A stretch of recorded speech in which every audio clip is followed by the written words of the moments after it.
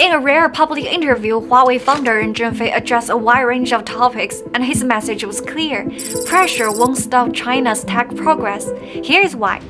As the US ramps up trade restrictions and warns against Huawei's Ascend chips, Ren noted the US has exaggerated Huawei's achievements and said that Huawei's single chip performance still lags behind the US by a generation.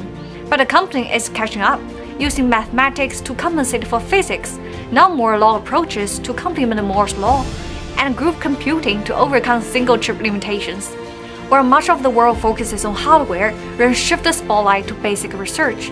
Huawei now invests 6 billion yuan a year in theoretical research, with no KPIs attached. Ren also stressed the need to respect and protect theoretical scientists.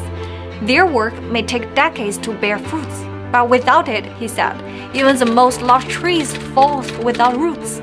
He called AI the final technological revolution of humanity and believed China holds a major edge not just because of its infrastructure and power supply, but because of its millions of young minds, its nationwide data computing strategy, and its strong telecom network. Ren also drew a sharp contrast between China's development model and that of the US. Why doesn't America build high-speed rail? He said it is only socialism that can take on projects that's not profitable. Because socialism is about developing society, not tracing profits.